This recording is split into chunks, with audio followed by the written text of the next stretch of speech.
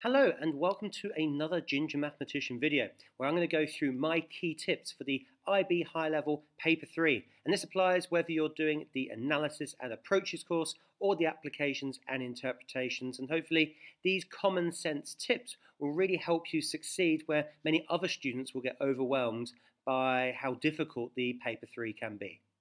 Okay, so let's go through first of all the higher level applications and interpretation paper 3 so notice this is a one hour paper compared to the other two papers and out of 55 marks. And you have to do quite a lot in order to get those 55 marks within the very short space of time. Uh, my first tip here is if you're going to use your graphical display calculator, particularly on this course rather than the analysis course, then you do need to show some support by suitable working. So for example, if you're going to use a graphical solution for an equation, then you need to sketch a solution as part of your answer. So make sure you leave yourself plenty of time to do that as well. Okay, my first key point, however, is that, remember these uh, have two questions. So this question here, number one, is out of 27 marks. Wherever I scroll down, the second question is out of 28 marks. Generally, they will be equally weighted. And the key thing is to make sure that you get the first 10, 15 marks on both questions. One of the worst things you can do here is say you're going through question one, and so far up to point F, it's making some sense to you, and then you get completely stuck by parts G and H, which is re uh, relying on the phase shifting of complex numbers. The worst thing you can do here is spend lots and lots of time trying to work this out and remember the formulae and applying the formula sheet, etc., and then not leaving yourself enough time to do the uh, straightforward parts of the question on question two. Okay, so the, one of the key things here is to make sure that you leave yourself plenty of time. Number two is a general tip for this kind of paper, and it's a lot of marks within a very short space of time. So really do give yourself 30 minutes for the first question. So scroll back to the first question. Give yourself 30 minutes exactly for this question, and then give yourself 30 minutes exactly for the second question. Make sure you're really, really disciplined on the amount of time that you give for that.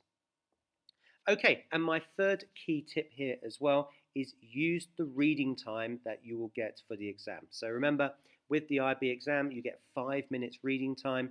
Make sure that you are there on time for the exam so you can really read through the instructions of the question. Notice here, for example, question one, uh, which is based on sinusoidal modeling, that you really do need time to actually read through this actual particular question. And you'll notice this part in bold here, really sets up the situation for what kind of maths you're going to use. So for example here, working with revolutions, you know there's going to be some kind of sinusoidal model there before you even read the next part of the question. Likewise, if I go to question two here, we're talking about validity and reliability of statistical methods, then you know there's going to be some kind of hypothesis testing involved. So use that bold phrase at the start of the question to really give you an idea of, okay, I'm going to need the statistics part of my formula sheet here. I need to have that ready before I start the question. Okay, and on to the higher level analysis and approaches paper as well. So again, this is from May 2021. So you can see the paper here, again, very similarly distributed to the applications, high level paper as well. So this is 27 marks here and we've got here out of 28 marks. And the same kind of tips apply. One extra tip I would give for the analysis paper uh, specifically, remember that this is a calculator paper. So many of the methods you've seen on the analysis course do involve non-calculator methods. That's really, really important in order to have a good understanding of the analysis course. However, when it comes to this particular paper, paper three, do use your graphical display calculator. So talk to your teacher, make sure you're happy with all the calculator methods that you should be used to using either your TI-Nspire or a CG50 or TI-84 and um, really get experience on using that because you'll have a lack of experience using that compared to the high-level application students, so you need to be able to use that correctly. And if you're looking for more practice with Paper 3, I know out there it's a very difficult paper to prepare for.